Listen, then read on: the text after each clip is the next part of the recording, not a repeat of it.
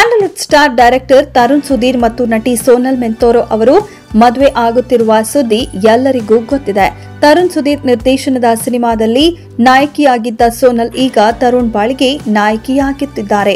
ಅಂದಹಾಗೆ, ಈ ಜೋಡಿಯ ಮದುವೆ ಯಾವಾಗ ಎಂಬ ಪ್ರಶ್ನೆಗೆ ಕೊನೆಗೂ ಸತ್ಯ ಉತ್ತರ ಸಿಕ್ಕಿದೆ. ಆಗಸ್ಟ್ ಹನ್ನೊಂದರಂದು ಸೋನಲ್ ಮತ್ತು ತರುಣ್ ಮದುವೆ ನಡೆಯಲಿದೆ. ಇದುವರೆಗೂ ತರುಣ್ ಸುಧೀರ್ ಆಗಲಿ, ಸೋನೆಲ್ ಅವರಾಗಲಿ ಎಲ್ಲಿಯೂ ತಮ್ಮಿಬ್ಬರ ಮದುವೆ ಬಗ್ಗೆ ಅಧಿಕೃತ ಮಾಹಿತಿ ನೀಡಿರಲಿಲ್ಲ.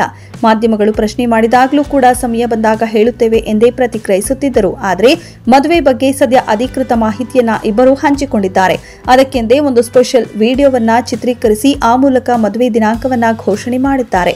ವಿಶೇಷ ಅಂದ್ರೆ ಈ ವಿಡಿಯೋವನ್ನ ಥಿಯೇಟರ್ನಲ್ಲೇ ಶೂಟ್ ಮಾಡಲಾಗಿದೆ. ತರುಣ್ ಸುಧೀರ್ ಸಿನಿಮಾವನ್ನ ಅಗಾಧವಾಗಿ ಪ್ರೀತಿ ಮಾಡ್ತಾರೆ. ಸಿನಿ ಕುಟುಂಬದ ಹಿನ್ನೆಲೆಯಿಂದ ಬಂದ ತರುಣ್ ಅವರು ಇಂದು ಖ್ಯಾತ ನಿರ್ದೇಶಕರಾಗಿ ಹೆಸರುವಾಸಿಯಾಗಿದ್ದಾರೆ.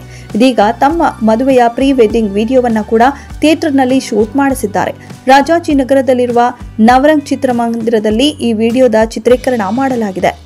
ಅಷ್ಟಕ್ಕೂ, ನವರಂಗ್ ಚಿತ್ರಮಂದಿರವೇ ಯಾಕೆ ಅದಕ್ಕೂ ಒಂದು ಕಾರಣವಿದೆ. ತರುಣ್ ಮತ್ತು ಸೋನಲ್ ಇಬ್ಬರೂ ಕೂಡ ಸಿನಿಮಾ ರಂಗದಲ್ಲೇ ಇರುವುದರಿಂದ ಫಿಲ್ಮಿ ಸ್ಟೈಲ್ನಲ್ಲೇ ವಿಡಿಯೋ ಶೂಟ್ ಮಾಡಿಸಿದ್ದಾರೆ.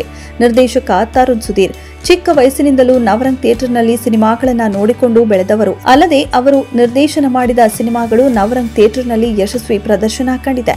ಈ ಎಲ್ಲಾ ಕಾರಣಕ್ಕಾಗಿ ನವರಂಗ್ ಚಿತ್ರಮಂದಿರದಲ್ಲೇ ತಮ್ಮ ಪ್ರೀ ವೆಡ್ಡಿಂಗ್ ಶೂಟ್ ಮಾಡಿಸಿದ್ದಾರೆ. ಖ್ಯಾತ ಛಾಯಾಗ್ರಾಹಕ ಎಜೆ ಶೆಟ್ಟಿ ಅವರ ಚಿತ್ರೀಕರಣ ಮಾಡಿದ್ದಾರೆ. ಇನ್ನು ತರುಣ್ ಮತ್ತು ಸೋನಲ್ ಮದುವೆಯು ಆಗಸ್ಟ್ ಹನ್ನೊಂದರಂದು ಬೆಂಗಳೂರಿನ ಕೆಂಗೇರಿ ಬಳಿ ಇರುವ ಪೂರ್ಣಿಮಾ ಪ್ಯಾಲೇಸ್ನಲ್ಲಿ ನಡೆಯಲಿದೆ. ಈಗಾಗಲೇ ಮದುವೆ ತಯಾರಿಗಳು ಆರಂಭವಾಗಿವೆ.